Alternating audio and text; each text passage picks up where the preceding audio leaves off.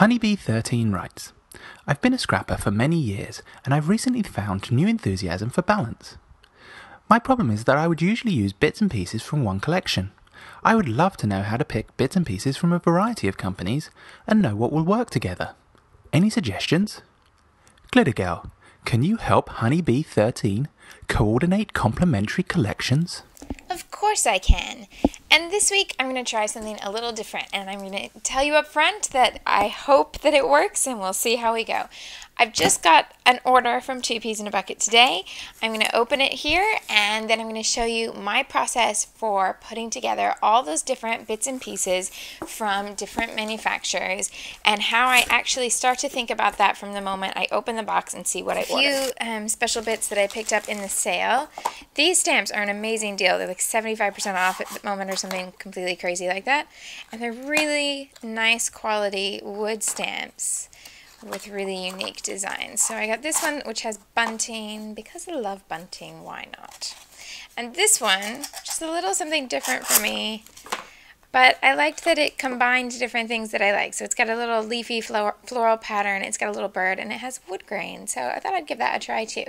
And because they're in the sale at such a discount, um, I figured it was uh, it was okay to take a little chance on something that maybe I hadn't used. So have a look at those. The brand's called Ink and Wit. And then go through my papers first, I think. So here's everything that was in my paper packet. I have some letterpressed uh, different sticker labels. That's from One Canoe 2, also in the sale. And some thickers, label stickers and word stickers and letter stickers from October Afternoon. Some new um, little sets of letters from Doodlebug, and then I get into the paper. And to be honest, it's usually the paper that um, that starts my creative process of what I'm going to put together. So when I'm starting to mix manufacturers, I almost always start with paper first. And I tend to buy um, a few papers from one collection even though I'll mix them up. So let's have a look here. So I picked up a lot of the Love to Craft collection from uh, We Are Memory Keepers, which has all this cute um, crafty theme things.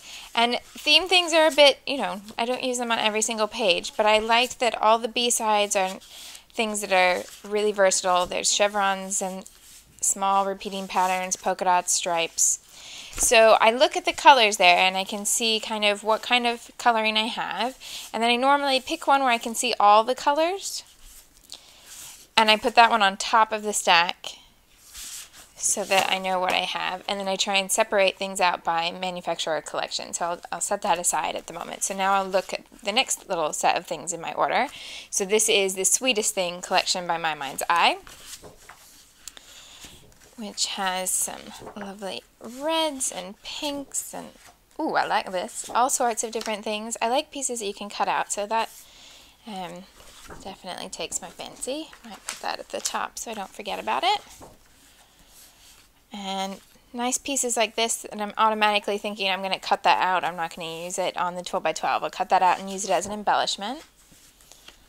Small repeating patterns make good backgrounds. Sometimes a really bold, big pattern like this works well as a background too. This was one of my favorites from looking at the thumbnails online. I like that I could throw a bunch of color on top of this. So maybe some hot pink mist and a few sheets of hot pink paper and one photo and that would be a really fast layout that would be quite striking. So this is the sort of thing that I'm thinking when I go through my papers. And a big floral like this, I'm automatically thinking I'll want to mix with something that's a bit more subtle. So um, that's probably still too busy. Something that has less color like this, maybe. And then sometimes I really like a floral with a stripe together and then I tend to just put a solid border around that. So maybe if I had some cardstock that matched the green, I'd just put a really tiny border around it and mix those two together. Okay, so, oh, this starts a new collection. Okay, so this is great. So now I'm going to have a look at all those. So I'm going to go ahead and, and leave those two together in the stack. And I think I'll put this one at the top because I really like that one. Don't want to forget that I have it. So then I have, that's two collections there. Then I've got Crate Papers, Little Bo Peep collection, which admittedly is, you would think is a baby collection, but if you look at these patterns, I don't think, oh, I only have a little bit of it. I don't think these are overly baby, I mean, they're not baby themed at all, so just nice colors, nice easy patterns to work with. And this is, oh, Pebble Sunnyside. Did I order? I have two from that collection at the moment. Okay, so a cut apart sheet and lots of thank you bits. Um, when I do make cards, they're almost always thank you cards. I make more thank you cards than anything else, and then some also some birthdays. And so I like pieces like this where there's lots of thank you bits that I can cut apart, but it's not all thank yous, so there's still other stuff that I could use. And I think there's a good mix on this sheet of things that could be both cards and scrapbook pages. So I should be able to get quite a lot out of that. And if I know that I like pretty much all of these designs, I'll probably go ahead and cut this up straight away and put it in with my die cuts rather than keep it as a pattern paper. And the only thing that does trick me with that is I do really like this background as well.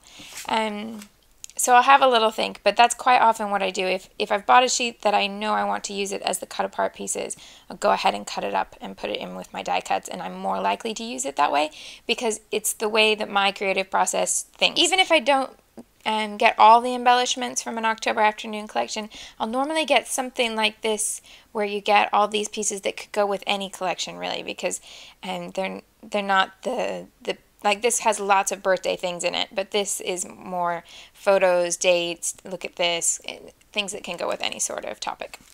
And some larger sticker sheets from My Mind's Eye, and so a flat one and a layered one, a couple die cuts, Oh, and more of those labels and words. One set of tape. Oh, and this is the one that has lots of different um, date labels. Yay. Love that. Okay, so there we go. And that comes in a set of three. The other one is yellow. There's yellow honeycomb and a gray doily lace print. Last little bit here some buttons, and I don't always buy the buttons in a set like this, but I look at a collection if I think I'll, um, that I don't have colors that will go with it, and I looked in my button collection and I really didn't have good color matches for Cakewalk, so I went ahead and picked up the, um, the button pack. A Christmas stamp from last year because it's in the sale now, and I really like the design of this and just thought maybe that would work on my Christmas cards this year, so good, good, um, good chance to get a bargain on Christmas stuff before all the new things hit the store. And this is one of the new tapes from Freckled Fawn, and it's like an olive green with little asterisks in it, little stars. Okay, so that's everything. Now, where do I start with creating some page kits and figuring it all out? Okay, let's see if I can show you that. So, the first thing I would do is pick a piece of paper from the box something new and then I just start with that. I don't have any photos in mind and this is kind of where I start. So I picked this um, pink print from The Sweetest Thing by um, My Mind's Eye and it has, they're both pink prints but I like this, um, the, the lighter color with the more white in it. And then I just start to um, decide what I'm going to go with it and I really try not to overthink at this point. I have a few little guidelines to help me along the way and a few favorite color combinations. So I kind of go with my gut instinct. I saw the pink and maybe it was because of the, the subtle suggestion here or maybe it's just because I like this color, but I automatically decided I wanted to put this with aqua or turquoise or, or something like that. So I went looking for another print that would be just the turquoise. Um, so I've got a, a essentially this is a, a, single color print. So this is a pink and I wanted another single color print with aqua or turquoise. And this was the one that first sprung to my mind, which is um, from the Jillibean Soup uh, Staples. It has a polka dot on one side and a chevron on the other. But when I put these two side by side, they aren't the match that I want because this paper is more of a white tone, like the pink print is printed on a white paper. This is a cream tone, and it's a very cream, so um, there, there's not a crisp white here, and you can see in the label the difference between the lighter color here and the white in the um, in the strip there. So I don't like to mix white and cream based pattern papers if possible. So I decided I would keep looking and I put this one aside. Still love that paper, but it's just not the right choice for this particular pink. But following that same idea of something that's a very subtle single colored print, I went to the Lily Bee um, collection and found this print, which has the subtle ledger on one side and polka dot on the other. And this is from Buttercup. And that doesn't have cream. It's a much better match. So now that I have two single colored prints, I want to find something that will bring that all together. And for that, this is what struck my mind, which is an older paper from Sassafras from the Sweetly Smitten collection.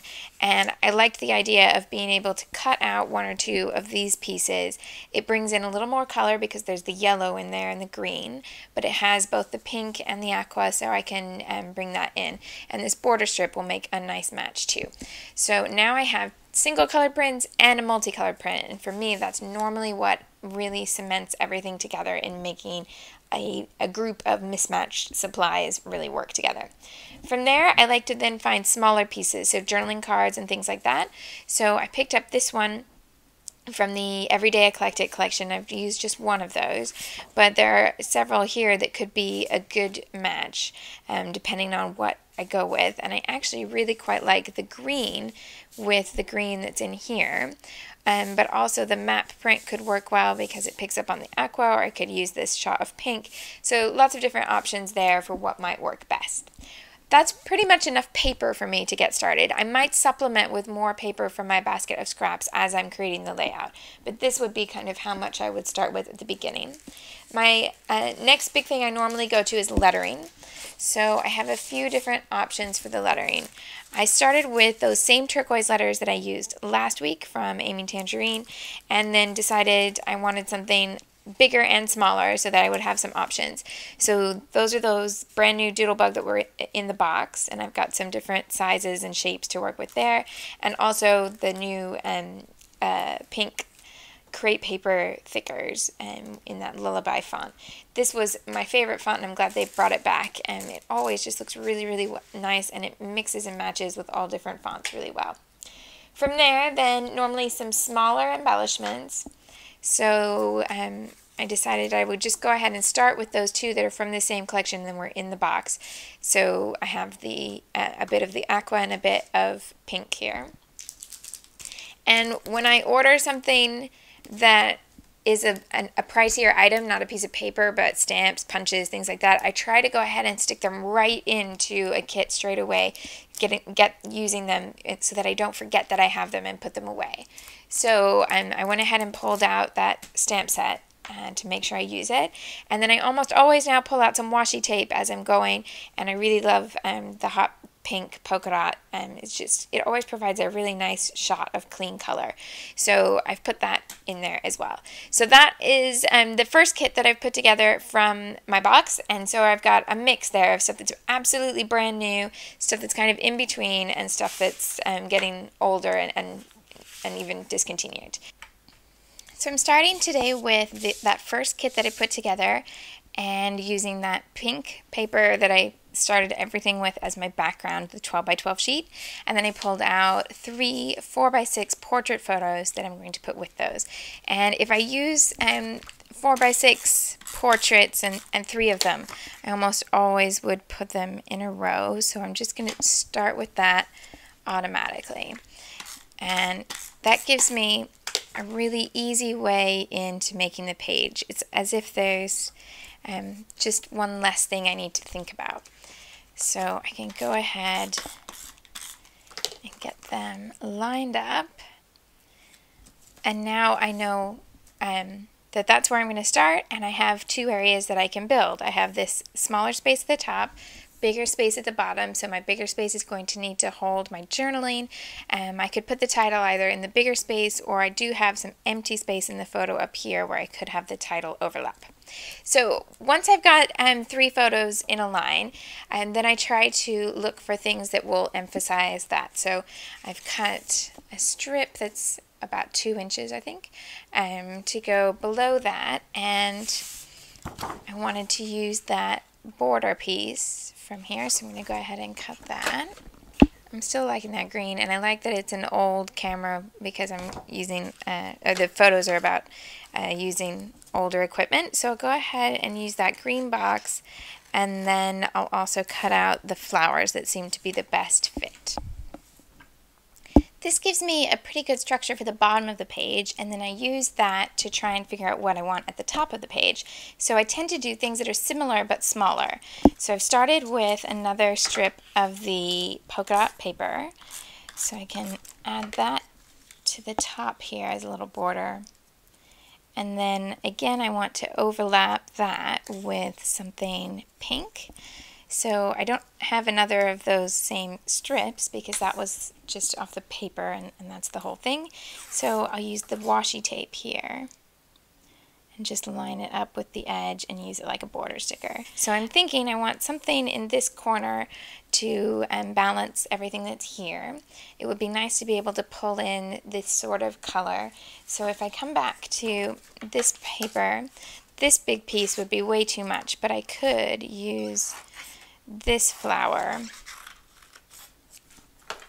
in this corner up here because it would just overlap just the very top of that picture with this corner of the page and then trim off the excess.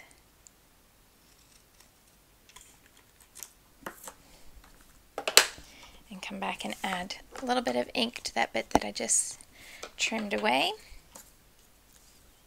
And now I've got a good place to start adding some horizontal, smaller horizontal elements up here.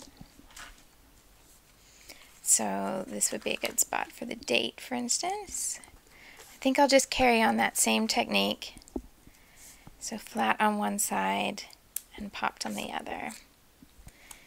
Just pick up my ink again.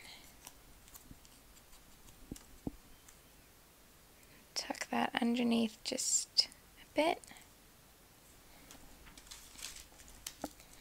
When I'm working on titles with mixed fonts and colors and different shapes and sizes and brands of stickers, one, one thing that I try to look for are the gaps that naturally occur in the letters. So places where you can pop one letter into the space that another letter leaves behind. So the gap here between the O and the how is a good place to start the L for lovely, um, even within one font, like the, the T then has a gap where you can put the E inside and, and it kind of um, frames the letter. So that's, that's my best trick for getting all sorts of different alphabets to work together. And that's just keep looking for those natural places where things can can fit together different sizes different shapes different letters. And sometimes it means that I pick a different wording for the title than I normally would. And it also means that there are times when um, I spell out a letter uh, spell out a word and use up more letters than I might. Um, this single letter has now used two T's, three E's, two R's, two S's. I, have pretty much obliterated that alphabet in one go, and I'm going to have to be very careful with what I can spell to use up the rest of it. And but it, it works well in balance with the others, and and that was the best word for me to spell in that particular font. Um, so yeah, for mixing letters and things like that, that's something to look for. Look for, if you spell one word, then look for other little gaps. So the T crossing here gives me a good little window to start that L. Um, and just keep that in mind, the spaces that different letters make. If I spread all of the letters out in the word letterpress, it would have filled almost the whole page. So it's quite key to keep them close together. It's, it's similar to how we write when we don't often think about it. If you're writing joined up or cursive writing, many of the letters will naturally fit into the gaps that you've created. So now I have um, the title. I did add a little piece here from my my little bowl of bits and pieces so that I could get um, a little bit of, of separation between the journaling place here. I'm going to put some words in here and um, where I wanted the title to read.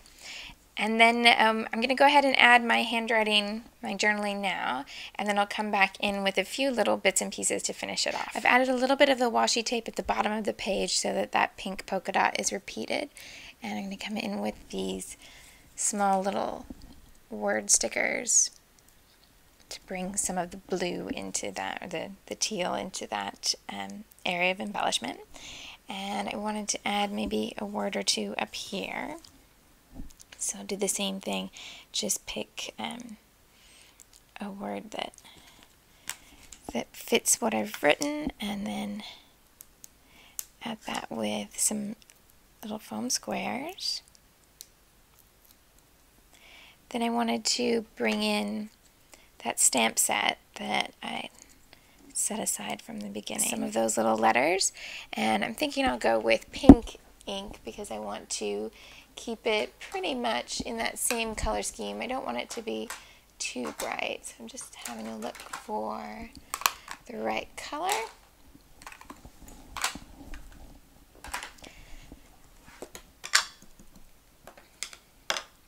And then I can just find little places that are good for just that small little addition.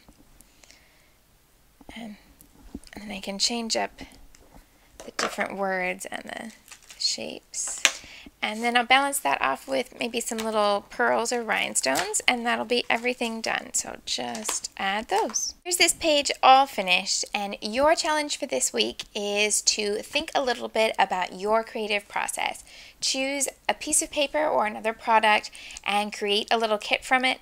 Just pay more attention than, than perhaps you normally would to the different decisions that you make along the way. What grabs your eye and what looks balanced or, or um, or suitable to your eye, and then you'll become a little more aware and it'll speed up how you work.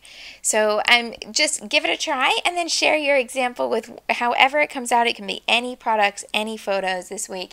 And just uh, in the comments when you upload your layout, tell us a little bit about what you learned as you put together your supplies and we're paying attention to those other little details. Make it work with your style, and thanks so much for watching. I'll see you next week.